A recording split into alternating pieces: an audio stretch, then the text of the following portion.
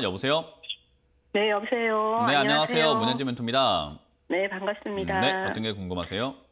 어, 이거 궁금한 게 너무 많아서. 네, 어떤 게 궁금하세요? 마, 아, 롯데 케미칼이고요. 네. 18만 1,500원에 30%인데요. 얼마요? 18만 1,500원이요? 30%요? 예, 예. 이거를 장기로 이제 사서 모아서 가져가려고 한 50%까지 채우려고 하거든요. 네. 가능할까요? 뭐 그, 가능하진 않, 어, 가능하죠. 뭐 가, 불가능한 건 없어요. 주식에서는요. 롯데 케미칼의 미래. 그러니까요. 불가능한 주식하 예, 예. 그러니까 주식에는 불가능한 게 없다고요. 그냥 뭐든지 돼요. 예, 예. 마음만 먹으면요. 네. 계획을 짠 대로 가는 게 맞아요. 그래서 상담이라는 게 사실 본인이 계획이 있다면 제 계획이나 저의 의견은 참고용이 되는 거고 본인 계획에 맞춰 가지고 투자하는 게 제일 베스트입니다. 이 기업이 될까요, 네. 안 될까요는 둘째 치고 시청자님이 그렇게 생각을 하고 가져갈 수 있다면 내 마음이 일단 그렇게 마음 먹은 대로 가는 게 제일 중요해요. 그래서 제가 제일 중요한 건 마인드라고 이야기하잖아요. 시장에서는요, 아무리 좋은 종목도 내가 불안하면요, 조금 빠졌을 때 손절해버리고 그래요. 그럼 그 다음에 올라갔을 때, 아, 손절 안 했어야 되는데 이런다니까요.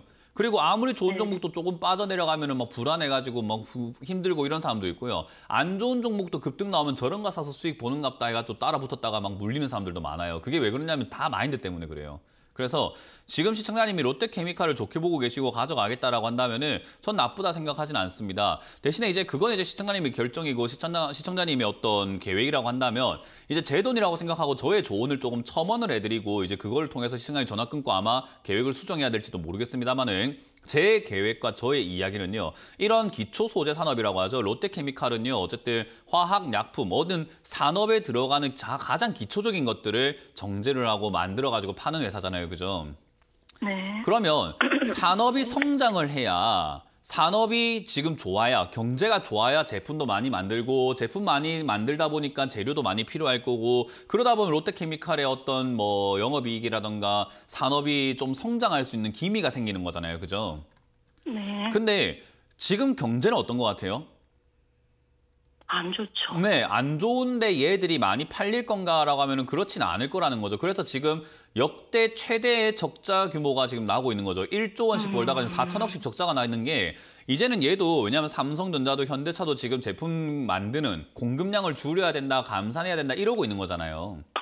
아, 네. 그럼 얘들의 매출이 앞으로 많이 나올 것인가라고 하면요. 그렇지는 않을 가능성이 높아요. 그 말을 지금 여기서부터 이제 당분간만 안 좋은 거면은 바닥을 여기 잡겠지만은 향후 1년, 2년 안 좋은 거면 1년, 2년 중장기로 봤을 때 이렇게 계속 떨어질 수 있는 그런 리스크가 있는 거죠. 근데 모아가겠다 한다면은 그렇게 떨어지고 나면 또 다시 또 어쨌든 불황이 오면 호황이 와요.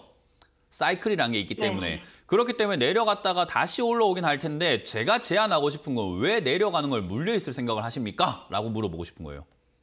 장기로 가져갈 거면 왜 사서 가져갑니까? 현금 들고 있다가 롯데케미칼 지켜보다가 떨어졌을 때 사도 그 장기 투자 아닙니까?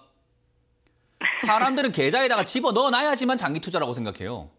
아니라니까요. 현금 들고 기다리다가 좋은 타이밍에 사는 것도 하나의 장기 투자인 건데 맨날 그냥 뭐 돈 집어넣어놓고 주식을 무조건 사서 가야 된다 하는데 아니에요.